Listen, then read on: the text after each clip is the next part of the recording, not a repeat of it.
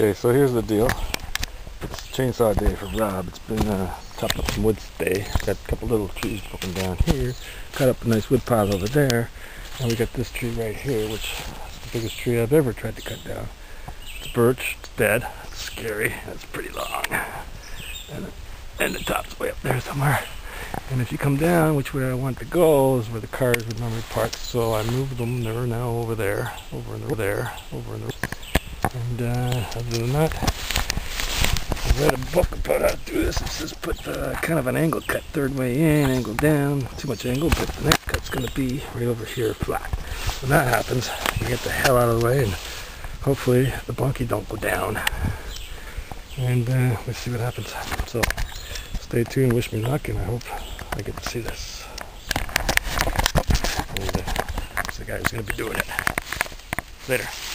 Okay, so here it goes. That's the tree right in front of us. I'm gonna go start the chainsaw. Uh, you know what? Forgot something. Be right back.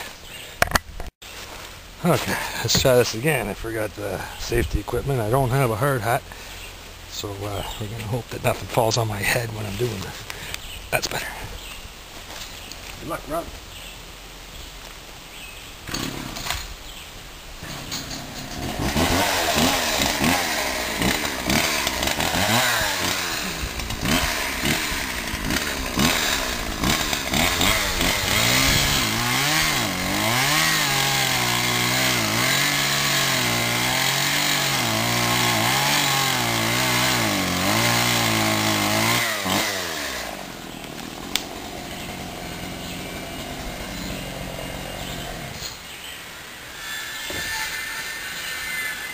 Gotta be kidding me. Did you see that? Oh my god, it's wiggling in the wind. Oh boy, oh boy.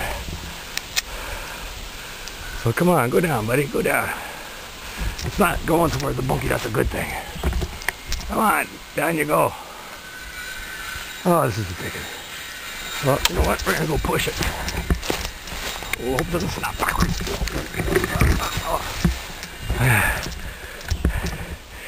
Look at this thing. So like, just went that far and then it stopped. Okay, we ready to rock. Oh, push it.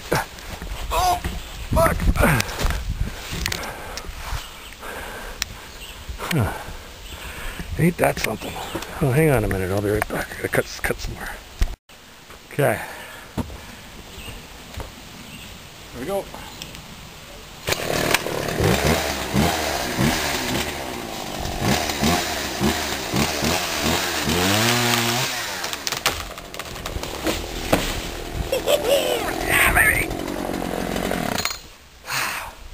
First tree ever.